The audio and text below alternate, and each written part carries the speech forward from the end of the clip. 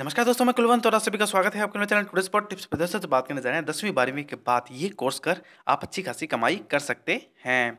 आगे बढ़ने पर दोस्तों, बता दूँ, काफ़ी सारे टेक्नोलॉजी बेसिस और मार्किंग जाते हैं प्लीज़ चैनल को सब्सक्राइब करना ना बोले तो चलिए दोस्तों, शुरू करते हैं। दोस्तों, आजकल रोज़गार होना बहुत ज़रूरी है और इंसान की पहचान उसके काम से ही होती है। आजकल सरकारी नौकरियाँ सीमित हैं और नौकरी में कंपटीशन बढ़ रहा है। ये दसवीं, बारहवीं के बाद कुछ किए जाने वाले कोर्स हैं जिनसे सरकारी नौकरी या अच्छी नौकरी आसानी से मिल जाती है। हार्डवेयर और नेटवर्किंग, भारतीय छात्र इस कोर्स से अच्छी तरह परिचित हैं। इनके विज्ञापन अब टीवी अखबार पर दिखते रहते हैं। कंप्यूटर हार्डवेयर और नेटवर्किंग के काम आता है। इस कोर्स के लिए सबसे लोकप्रिय संस्थान जेट किंग है।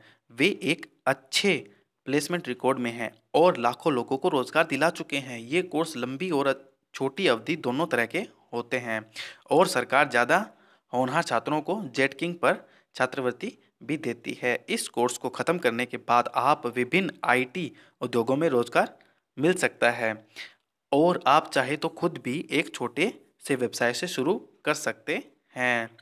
सॉफ्टवेयर और प्रोग्रामिंग भाषा का कोर्स। इसके अंतर्गत सॉफ्टवेयर और जावा प्रोग्रामिंग भाषाओं को सीखना होता है। इस कोर्स वाले छात्र की सॉफ्टवेयर और डेवलपर्स कंपनियों में ज़्यादा मांग रहती है। ज़िंदगी में आगे बढ़ने के लिए इसे एक महान कोर्स में से एक माना गया है। ये कोर्स में सॉफ्टवेयर में आता है। इसे करने के लिए भारत में सबसे अच्छा संस्थान एनआईआईटी इसके केंद्र पूरे भारत में फैले हुए हैं। ये कोर्स भी लंबी और छोटी अवधि दोनों तरह के होते हैं। विभिन्न प्रोग्रामिंग भाषाओं को आईआईटी में सिखाया जाता है। इन्होंने कुछ आईटी कंपनियों से संपर्क किया है, जिनकी ज़रिए ये हर साल लाखों छात्रों को रोज़गार दिलवाते हैं। इसको पूरा करने के लिए अच्छी सैलरी वाली जॉब आसानी से मिल जाती है। बाकी सब जानते हैं दोस्तों क्या क्या करना होता है।